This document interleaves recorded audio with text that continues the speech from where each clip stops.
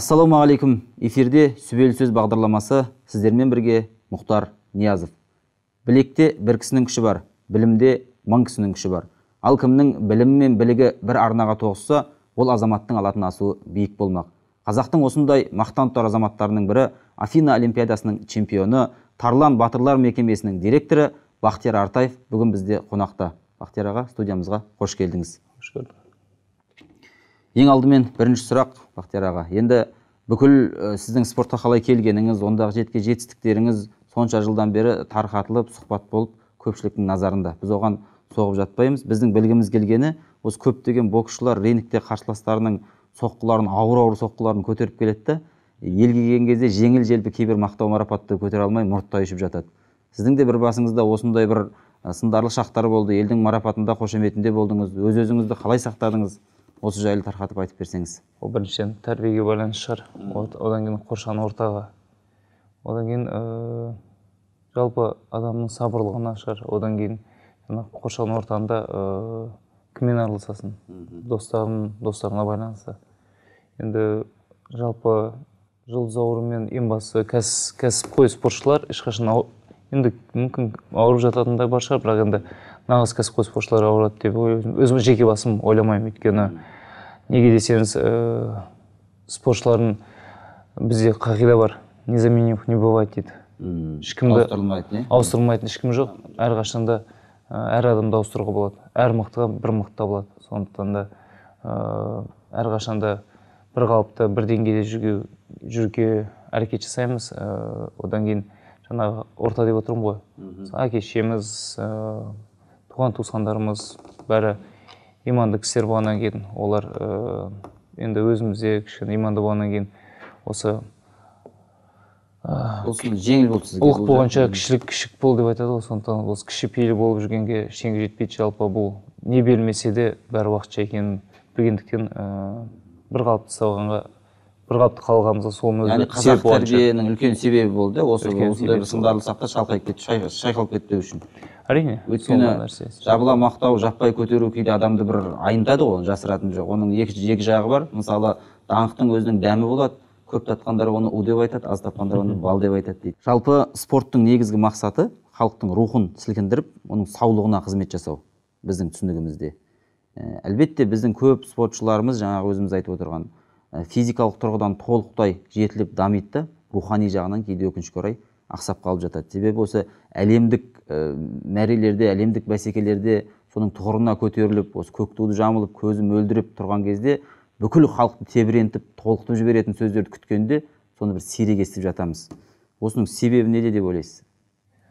Енді бірінші рухани жағын айтып өтейін ә, шыны керек ә, мен өз жеке басым өзім ойлаймын мысалы ә, спортшылар спортшылар спортта жүрген кезде жалпы ә, бүкіл күш қуатын спортқа жұмсаған дұрыс деп ойлаймын. Мысалы қазіргі таңда көп спортшылар солайынан істеп жатыр. Соның арқасында үлкен жетістіктерге жетіп жатыр. Мысалы өз басымыз сөйттік қой бәрін тастадық та тек қана солай болды. Ал жаңағыдай ә, көңіл толмайды деп жатырсыздар ғой ол көңіл толмайды неге өйткені? Ол баланың былайша айтқанда ә, көп нәрседен өзін шектетеді да. Мысалы білімнен шектетеді оқудан шектетеді достармен қыдырғаннан шектетеді ә, жүрістен шектетеді өзін. Бір салаға арнайды бағыттайды иә? Иә бір салаға арнайды бағыттайды. Сондықтан ол соның себебі шығар. Сондықтан сол бірақ себеп тек қана. Бұл сұрақты қойып отқан себебім өзіңіз айтып отырған жаңағы спортшыларымыз бұл әлбетте тілдің әдебиеттің немесе тарихтың маманы емес. Десе де бұл міндет олардың мойнынан түсіп қалмайды. Өйткені бүкіл елдің рухы солардың бір, бір уақыттарда солардың қолына қарап қалатын кездер болады. Әлемдік шаршы алаңда той салған мұхаммед али болсын майк тайсон болсын өзіміздің бауырымыз ардақ назаровтар болсын бұл жігіттердің ә, шаршы алаңдағы сол өздерінің сайыстарынан басқа ел арасындағы сұхбаттары салиқалы афоризмдері ә, көшелі сөздері көбірек ә, танылып жатты осы жағымен. Сондықтан да енді өзіңіз жаңа тарлан спорт батырлары деп отырмыз алдағы уақытта осы спортшыларға ақылыңызды айтып жүрсіз. Алдағы уақытта бір осы рухани орталармен байланыс жасау жолға қою жоспарларыңызда бар ма жалпы? Жалпы қазіргі таңда өзі рухани жақ деп айтып отырмыз ғой. Балалардың барлығы қазір тобынан қай балаға ақыл айтпасам да барлығы өзі сол жақта жүр. Ең бастысы адам өзі өз санасымен пісіп жетіліп келген дұрыс. Ол мен айтып отқаным ең бастысы ыыы адам сүйсініп келу керек бұл жаққа сүйсініп келу керек. Ол қорқыныштан келмеу керек. Өйткені мысалы көріп тұр бір идеалды алайық мысалы. Егер мен таза болып әдемі жүріп бет аузым тап таза жүрісім әдемі істеген жасам істеген істерім елге үлгілі болып жатса жастар оған сүйсініп ағам осылай жүреді екен дін деген осы екен дін деген тазалық екен дін деген ә, жақсылық екен ағам боқтамайды екен ағам ешкіммен ерегіспейді екен біреу жолын кесіп кетсе кешірдім деп қоя салады екен. Сондай үлгі алып келетін болса ол нұр үстіне нұр. Мынау жаңа айтып отырмыз ғой мұхаммед али ә, тайсон ардақ назаров ардақ бауырларымды бұл ә, жігіттер бұл мыңнан миллионнан бір жігіттер десем болады. қателеспеймін өйткені. Бұл жігіттерде ол ә, жалпы ананың сүтімен әкенің қанымен келген дүниеде ол жаңағы әдеби сөйлеуі әдемі жүруі түзу өзін әдемі көрсетуі. Бұның бәрі ол ол мен ойлаймын ол мың кітап оқып болмаса ә, күндіз түні ә, теледидарды ақтарып болмаса интернеттен қарап жаттаған сөз емес шығар деп ойлаймын. Оның бәрі таза өзінен шығып жатыр. Оны көрген кезде сен анау жүректен шыққан сөз жүрекке жетеді дейді ғой. Сондықтан ол жүрекке жететіні сондықтан шығар. Өйткені ол табиғи. Сондықтан ол мыңнан миллионнан бір ондай жігіттер. Бұл түрлі бізде қазір дәстүрлі тарихи рухани орталықтар бар. Осы саланы ұстап жүрген ағаларымыз бар жігіттер бар. Өйткені енді спорттың негізгі мақсаты жаңа да айттық елдің рухын сілкіндіру болғаннан кейін бұл жігіттер тек білек күші ғана емес өзіңіз айтқандай енді шетелде білім алып келдіңіз жан жақты көріп келдіңіз. Осындай мысалы сын сәттерде мына қазақты қайрай алатын ә, шынымен де осы ерлікке бастай алатын өйткені ә, біз ертең үміт артып отырған жігіттерміз ғой. Бұлардың іші бос болып тек сырты ғана қауқиып қалатын болса бізге бұл жігіттерден пайда болмай қала ма деген қорқыныш қой. Өте жақсы өте орынды сұрақ. Ә, мен ойлаймын жігіттер бірінші тарихтан бастаса деп ойлаймын. Мысалы бір мың тоғыз жүз жиырма жиырма бірінші жылдары жиырма сегізінші жылдары ашаршылық болды ғой. Қазақ қырылып қалды. Одан кейін ә, содан кейін отыз екінші отыз алтыншы жылдары мысалы репрессия болды. Біздің бүкіл халықтың ә, қазақ халқының ақылды мен деген білікті білімді азаматтардың бәрін халық жау қылды сөйтіп оларды да халық жау қылды да атын есет атып тастады жоқ қылды қамап тастады. Содан кейін мысалы көп азаматтар қазіргі таңда сәл сәл шайқалып қалды. Біздің көп азаматтар шайқалып білімсіздік болып ә, сатқындық болып дұрыс емес жүруі дұрыс емес сөйлеуі ә, бірін бірінің көліне шықпауы деген содан байқалып жатыр да. Иә, бұл, бұл жігіттер бірінші тарихтан бастау керек. Біздің осындай ғалымдарымыз болған олар осындай жақсылық жасаған. Әйтеке би төле би соны билерімізді қозғап олар не істеген абылай ханымыз қалай қорғаған елімізді қаншама жүздің басын қалай қосқан. Осының бәрін білсе олар рухани күшейеді одан кейін уже артынан уже отаншылдық сезім оянады сезімділік оянады одан кейін олар патриоттық сезім оянған кезде ол жігіттер әр жерде сөйлеген сұхбатында мен қазақпын деп көкірегін керіп көкірегін соқтырып айтып және ә, керек нәрсені керек дүниелерді жеткізіп мақтанышпен айта алады. Қанат исламның сөзі бар екен да. Мынау ұлтты ойлап ұрған соққыдан жой- жойқын соққы жоқ өйткені онда ұлттың намысы бар деп. Ең болмаса осындай бір ә, сөздерді бойына сіңіре білсе кешегі күш атасы қажымұқан атамыз ә, былай қара күшінен басқа қара сөздің де үлкен қас шебері болған жол жөні қазақтың бүкіл жол жорасын білген әлемге таныстырған. Ал оның себебі деп келсек бұл кеше иса байзақовтармен сол сияқты қаншама алаштың қайраткерлерімен бағана өзіңіз айтқандай бірге жүрген екен. Яғни біздің осы спортшы жігіттерді осындай руханият адамдарымен біте қайнастырып араластыру ғой менің айтып иә отырғаным. Иә иә тек қана солай біз барлық ыыы кемістіктің бәрін жойып ыыы дұрыс жолға қоя аламыз сондықтан менің бірінші айтарым тарихи санасын ояту дейсіз ғой тарихи иә? саянасын оятса сол кезде ғана біздің жаңағы көшеде қазақ орысша сөйлеп жүргендеріміз бәрі мәңгүрттердің бәрі қазіргі таңда бұрынғы қанына сіңіп қалған ыыы жалтақ жалтақтықтың бәрі құлдық сананың бәрі кететін еді да. Сондықтан бірінші бұларды тарихи оқытып еліміздің қандай мықты болғанын қандай ғұламаларын кезінде қалай құртқандарын бәрін білсе намыстары оянып ол өз тілін құрметтемеу соның бәрі сөз кететін еді олар түсінетін еді да олар не қай тілде сөйлеп жүргенін және ол тілдің не құрметі бар екенін олардың бізге қандай жақсылығы бар екенін қандай жақсылық өткенін біліп бұл жерде мен айтып айтқым келіп отқаны жалпы өзіміздің сананы оятып содан өзіміздің тілді көтеру өзіміздің тарихты білу және біз ә, біреудің артынан ермей біреуге еліктемей өзіміздің болмысымызбен жүрсек бізге еліктеу керек деп мен ойлаймын. Сондықтан біздің тарихымыз өте мықты. Жаңа өзіңіз айттыңыз інілерімізге бауырларымызға өзіміздің сөзімізбен ғана емес бойымызбен ісімізбен бүкіл бойымыздағы жақсы қасиеттерімізбен үлгі бола білсек деп. Енді сіздің мынау шаршы алаңдарда жұдырығы жұмылып жүретін боксшы ғана емес өмірде алақаны ашық жүретін азамат ретінде де жақсы білеміз. Тіпті кейбір көңіліңіз түскен інілерге көңіл көлігіңіз түсіп беріп кеткен жағдайлар да болған екен. Енді осындай бір мәрттік жомарттық бұл сіздің бұрыннан, бұрыннан бойыңызда бар ма әлде осы чемпиондықпен бірге келген бұл қасиеттер ма? Әр адамның болмысы мен ойлаймын ол ә, жаңа айттым ғой ананың сүтімен келеді әкенің қанымен келеді ол ә, сен дүниеге келген кезде сен алла мысалы өзіміз айтамыз құран хадисте сен дүниеге келген кезде сен тағдырың жазылып тұрады болды. Бүкіл нәрсе туа біткен дүние. Мысалы мен осы қазір қалпым мысалы ол туа біткен қалып дүние ол бұл ешқандай ә, маскасыз деп айтады ғой. Иә, көп иә. адамдар бір жерге барса бір басқа болмыспен жүреді да мына жерге барса басқа ортасында басқа болмыс бір қалыпты болмыс көп адамдарды көре алмайсың. Ал мен өз басым айтатын едім тура біткен болмысым осы кейбір кезде осы болмыспен көп адамдарға жақпай жатамын ұнамай жатамын өйткені мінезім тіктеу. Ә, одан кейін ә, бірінші кезде елім деген жүрегім соғады қанат бауырым сияқты. Бірінші елімнің патриотымын тілімнің патриотымын ә, сосын жүрген жерде осыны ұрандатып одан кейін жалпа, жал, жалтақтайтын ә, жалпақтайтын ә, мінездерім жоқ сонысымен көптерді жақпаймыз. Ал жаңағы ә, ол іс шара мен ойлаймын енді алла нәсіп етіп мүмкіндікті кеңінен берсе мен ойлаймын бұл дүниеде сондай ә, қол ашық болып елге жақсылық жасағаннан артық ештеңе жоқ. Өйткені мұхаммед али қайтыс болған кезде болмаса венесуэланың президенті қайтыс болған кезде ә, бүкіл халқы артынан шығып ә, қандай көсемнен қандай адамымыздан айырылдық деп жылаған кезде сөз өзің ойлайсың да былай қарап отырып сүйсінесің да. Расында бұл кісі бекер өмір сүрмепті деп.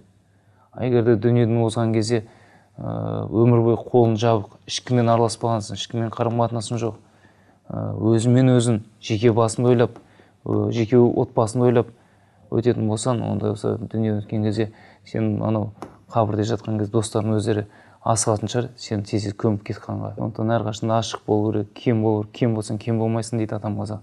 Сондықтан да ашық болған деп дұрыс ойлаймын. Енді алла мүмкіндік берсе мен енді ойларым көп. Ә, енді аллаға шүкір қазір жаман емес оқудан жаңадан орылып жатырмыз.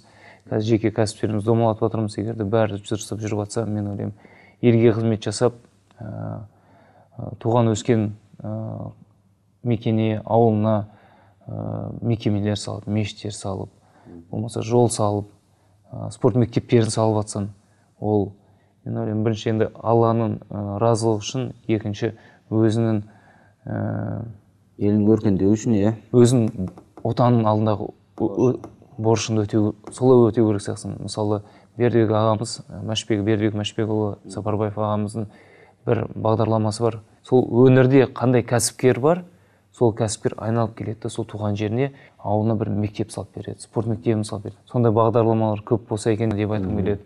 Осындай бағдарламалар ашып бүкіл неге мысалы қазір елімізде осы елден осы жерден шығып байыған қаншама азаматтар бар. Ауылына келіп жағдай жасау керек деп ойлаймын мен. Олар ә, жалпы ол дүниені бәріміз білеміз ғой. Ешкім алып кетпейді қабірге. Сондықтан ол дүние осы жақта қалады. Ең бастысы сол артынан барып тұратын сол жерде адамдардың рахметі болатындай жерлер ашу керек деп ойлаймын. Өте жақсы. Енді тарлан батырлар мекемесі жайлы директор деп айтып қалдық. Бұның құрылымы біз білуімізше бұл басқа мекемелерге қарағанда өзінің ерекшеліктері жаңашылдықтары бар сияқты. Халыққа түсінікті болу үшін тарқатып осыны айтып берсеңіз. Ә, тарлан жауапкершілік серіктестігі енді былайша айтқанда жеке мекеме жеке кәсіпкер сияқты боламыз. Ә, біз енді қазіргі таңда аллаға шүкір қазақстан бес облысында спорт кешендеріміз бар. Ол кешендерде біз қызмет, халыққа қызмет көрсетеміз. Халыққа болғанда кішкентай балаларға мен үнемі сұхбаттарымда айтамын кішкентай балаларға мектеп жасындағы балаларға ә, спорттық секциялар тегін болу керек. Ақысыз емес ол тегін. Үкімет ә, спорт басқармаларының салып жатыр. Оған миллиардтаған қаржылар бөліп жатыр. Сондықтан мектеп жасындағы балалар ешқандай секцияға ақылы бармау керек. Ал біздің ә, жұмысымыздың ол бірден бір соны анықтайтын мекеме ә, біздің мекемеде мысалы бір күнде ә, спорт мек- кешендерімізде 350-400-ге жуық бала қызмет алады. Спорттық тәлім тәрбие алады өз денесін шың- шынықтырады ол жерде ақысыз бос уақытын тиімді пайдаланады иә иә бос уақытын тиімді пайдаланып денелерін шымырлатады ә, денсаулықтарын нығайтады. ең бастысы денсаулық бәсекеге қабілетті деп жатамыз ғой. Иә, иә. сол денсаулықты тәрбиелеумен қазіргі таңда айналысып жатырмыз елбасының жолдауының аясында атқарылып жатқан істер ғой оның елбасының аясында атқарылып жатқан тапсырмасына байланысты істеліп жатқан нәрсе бұл мемлекеттік құрылым мен мемлекеттік емес біз сияқты жеке мемлекет ә, кәсіпорындардың екі ортада байланыс жасап жаңағы кішкентай балаларға тегін қызмет жасау ә, бағдарламасында жүргізіп жатқан ә, жұмыс. Бұл енді спорт саласында бірінші мекеме осындай бірінші қарлығаш айт- айтсақ болады. Осындай ә, жаңашылық жаңа көзқараспен жұмыс істеп жатқан ешқандай үкіметтің бюджеті жоқ. Бірақ мемлекеттік органдармен жұмыс істейміз да субсидия алғандай аламыз да жаңағы кішкентай балаларға тегін қызмет көрсетеміз. Ал ол түскен субсидияны тек қана жалақыға сол спорт кешенді ә, ұстап тұруға иә? ұстап тұруға ғана жұмсаймыз. Сол кезде бюджетсіз жұмыс жасап жатырмыз. Қарлығаш десе болады біріншіден ең бастысы ауыр жұмыс. Ә, ең бастысы бюджеті жоқ. Ешқандай коррупциясы жоқ дұрыс бағытқа арналған тиімді өте бюджетті үнемдеу бағдарламасында жасалған өте тиімді бағдарламамен жұмыс жасап жатырмыз десе болады. Енді өзіңізді бір ешкімнен тайсалмайтын ұлттың батырларының бірі деп білеміз. Пенде болғаннан кейін адамның бойында әртүрлі қорқыныш болады. Болмауы мүмкін емес. Сіз неден қорқасыз жалпы? Енді пенде болғаннан кейін ол ә, мен батырым деп көкірек тұрып ә, шаба бермейсің. Енді жау болса жауға шабасың ғой енді. Қылышыңды алып бірақ енді ол кез емес қой қазір. Ә, қазіргі кезеңде қорқатын дүние көп. Біріншіден ә, ұлтым үшін қорқамын екіншіден тілім үшін қорқамын үшіншіден отбасым үшін қорқамын өйткені осы дүниенің бәрі бір біріне байланысты деп ойлаймын мен. Жеке басына келген кезде мысалы аш қаламын деп ойламайсың. Мысалы әйтеуір еңбек етсең екі қолға бір күрек табылар жұмыс істерсің бала шағаңды асырарсың бірақ жаңағыдай елімнің жағдайы қиындыққа түсіп жатқан кезде осы мәселе қатты алаңдатады сізге қаншама қазақтың жігіттері өзіне идеал қылып ұстайды өзіне? бір жігіт болса осы бақтияр ағамыздай болсын сыпайылығы ажа, ә, жігітке тән мәрттігі мінезі деп. Енді сіз де ол жігіттерге сын көзіңізбен қарайтыныңыз түсінікті. Жалпы қазіргі қазақ жігіттеріне не жетіспейді деп ойлайсыз? Қазір қазақ жігіттеріне мен ойлаймын көбінесе намыс жетіспейтін шығар. Енді өзіміз азамат ер азаматпыз ғой бәріміз. Мен ойлаймын қазақтың әр жігіті намысшыл болу керек. Қарындастарымызды қорғайтын уақыт келген сияқты. Үй- және бір жағынан айтқым келетіні біздің ер азаматтардан мыс кеткен қазіргі таңда. Мхм. Оны өзіміз кінәліміз неге десек мысалы мысалы көшеде кетіп бара жатсаң қарындастарымыз темекі шегіп тұрады иә. Қай жер бармыз қазір көшеге шықсаң да солай сөйтеді. Ол сен мысалы мынау бақтияр артаев келе жатыр ау болмаса бір ағам келе жатыр ау немесе министр келе жатыр ау мынау ақсақал келе жатыр ау деп ұялып бір темекісін тастаймын деген ой жоқ. Осындай болмыстардың бәріне өзіміз кінәліміз. Осының бәрін қолға алып ер азаматтар нық болып қылтың сылтыңдарын қойып бір бірін өсектегенін қойып ер азамат сияқты жүріп мынау біреумен біреу төбелесіп жатса соны ортасына түсіріп ажыратуын оны алады камераға түсіріп сотқа салып интернетке салған мәз сондай жаман қылықтардан айырылса ә, мен ойлаймын бәрі уақытпен жай еншісіне келіп қайтадан бұрынғы қалпымызға келеміз. Бәрі реттеледі бәрі дұрысталады сондықтан біріншіден намысшыл болу керек отансүйгіштік болу керек. Және осы қыздарымызды құрметтейтін қыздарымызды сыйлайтын қыздарымызға ақыл айтатын азамат болсақ бәрі дұрыс болады болашақта. Жаңа сөзіміздің басында айтқан майк тайсонның бір сөзі бар екен. Егер де көшеде қандай да бір ашық шашық қыз келе жатса мен ол қыздың үйінде намысы бар азамат жоқ деп ойлауыма толық болады деп. Сол осы әңгімеміздің негізгі түйіні осы болатын сияқты. Иә дәл дәл солай ғой дәл солай. Азаматтардың біздің ару, аруларымыздың ары қыздарымыздың ұяты сол азаматтардың өзінің арына намысына абыройына байланысты. Бақтияр аға біздің студиямызға келіп арнайы уақыт бөлгеніңіз үшін үлкен алғыс айтамыз. Алдағы уақытта сізге шығармашылық ы, тірлігіңізде кәсібіңізде береке тілейміз. Сіз басқарып отырған мекемеден қазақтың маңдайын жарқырататын чемпиондар шыға берсін деген ізгі ниетпен бүгінгі бағдарламаны аяқтаймыз. Ардақты ағайын біздің бағдарламамыз бүгін осы жерден тәмам. Ел мен жұрт аман ойымыз орамды сөзіміз сүбелі болсын.